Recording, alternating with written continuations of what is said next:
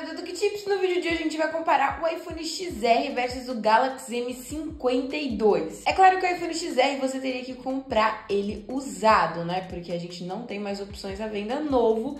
Esse daqui eu comprei no AliExpress, eu paguei R$ 1.600, então R$ 1.700 com a taxinha, então compensou pra caramba, ele veio sem detalhes nenhum, totalmente novinho. Provavelmente seja um smartphone reformado, mas é a melhor opção de iPhone para você comprar em 2022. O link vai estar tá aí na descrição. Ele é um smartphone bem completo, conta com o IP67. A gente sabe que a máxima proteção contra água e poeira é o IP68 e ele já vem com o IP67, que é muito bom e ele tem esse design bem bonito, aqui uma traseira de vidro, apenas uma lente traseira e ele é um smartphone com tamanho muito bom, não é um smartphone muito pequeno não. Aqui no Galaxy M52 a gente também tem uma traseira espelhada. A gente tem um conjunto de três lentes traseiras, é claro que ele não tem o IP67. Ele tem aqui a impressão de digital na lateral da tela no botão Power e uma coisa que o iPhone XR já vai ser melhor é porque ele conta com o áudio estéreo, saindo som aqui embaixo e aqui em cima. Então a qualidade sonora vai ser melhor no iPhone XR, porque aqui a gente tem um áudio mono no M52.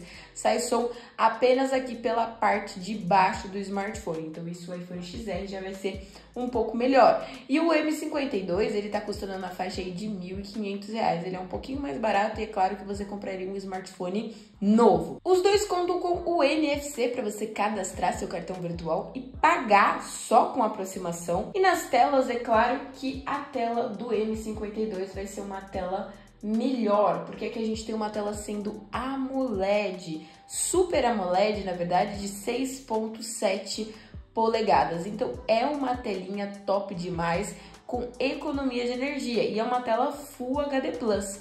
No iPhone XR a gente tem uma tela Full HD de 6.1 polegadas e uma tela LCD IPS. A tela LCD IPS é uma tecnologia mais simples, uma tecnologia mais barata comparado com a tela Super AMOLED, que a tela Super AMOLED a gente tem pixels que funcionam individualmente, então, aonde na minha tela, qualquer lugar, tipo o ícone do meu aplicativo que tiver na cor preta, vai estar tá desligado. Então, eu tenho economia de energia.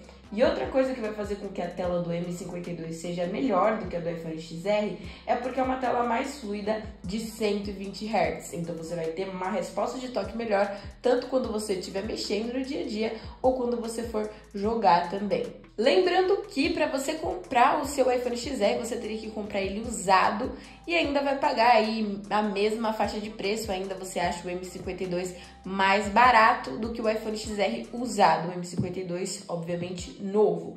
E o iPhone, o M52, ele consegue ainda ser mais potente na questão de processador do que o iPhone XR, porque ele vem com o Snapdragon 778G e ele vem com 6 de memória RAM. Ele tem um processador muito bom, melhor do que o do iPhone XR, que é o A12 Bionic. E o iPhone XR vem com 3 de memória RAM. Os dois processadores são processadores bons, né? Vão rodar todos os jogos na, na Play Store e na Apple Store. Só que, para você ter ideia da potência de cada processador, de qual é o melhor, a gente faz o teste no AnTuTu Benchmark e mede a pontuação. Qual bater a maior pontuação é o melhor processador. E para você ter uma ideia, o iPhone XR bate cerca de 467 mil pontos e o M52 547 mil pontos. Então, o M52, além de mais barato, ele ainda tem uma tela mais fluida e um processador mais potente do que o iPhone XR. Ah, e outra coisa que a gente não pode esquecer é que o iPhone XR, esse daqui que eu tenho, é com 64 GB de armazenamento interno. Então enche muito mais rápido, porque tem que comprar sempre iPhones com a partir de 128 GB, porque esse daqui principalmente eu tenho que tirar uma foto, para tirar uma foto eu tenho que apagar uma para tirar outra, é basicamente isso e também não dá para baixar todos os jogos que eu quero porque ele enche muito rápido.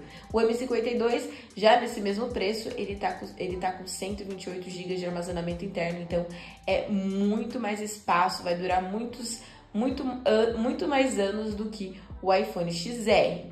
Só que as câmeras no M52 a gente tem três lentes e no iPhone XR uma. E com essa uma do iPhone XR a gente vai comparar com as três do M52. A padrão do M52 é de 64 megapixels, do iPhone XR é de 12.2 megapixels. Agora é só no M52, uma grande angular mais macro de 13 e uma modo retrato de 5. E a selfie é de 32 megapixels e no iPhone XR é de 7.2 megapixels. E aí, qual câmera que você acha que tirou as melhores fotos? Eu acho que o M52 consegue acompanhar o iPhone XR sim na questão das suas câmeras, mas deixe nos comentários qual que você achou que é a melhor. Ah, e é claro que em bateria o M52 teria uma bateria maior, porque o iPhone XR tem uma bateria bem pequena de 2.942 mAh, só que ele tem um carregamento sem fio, carregamento por indução, que a gente não tem no M52. Só que é aquela coisa, não vai durar o dia inteiro, se você gostar de jogar bastante longas partidas, provavelmente se demorar muito você vai ter que pendurar ele na tomada e vai ter que jogar com ele pendurado na tomada. Mas o M52 tem 5.000 mAh, que é uma bateria gigantesca, vai durar o dia inteiro. Se você tiver um uso maneirado, por exemplo, você sair para trabalhar e só voltar à noite para mexer no seu smartphone, ele dura até um dia e meio com 5.000 mAh. Então, falando sobre custo-benefício, é claro que o M52 é um custo-benefício melhor, porque ele, além de você comprar no mesmo preço de um iPhone XR usado ou até mais barato, você vai comprar o M52, ele tem uma tela melhor, um processador melhor e ainda tem uma bateria maior. Só que o iPhone XR tem IP67, que o M52 não tem, carregamento sem fio e também eu acho que as câmeras aí dele ainda conseguem ser melhor. Mas deixe nos comentários qual que na sua opinião compensa mais. Se você gostou desse vídeo, quer garantir seu smartphone novo, o link tá aí na descrição. Eu sou a Bia Calmeida, deixa o like e até o próximo vídeo.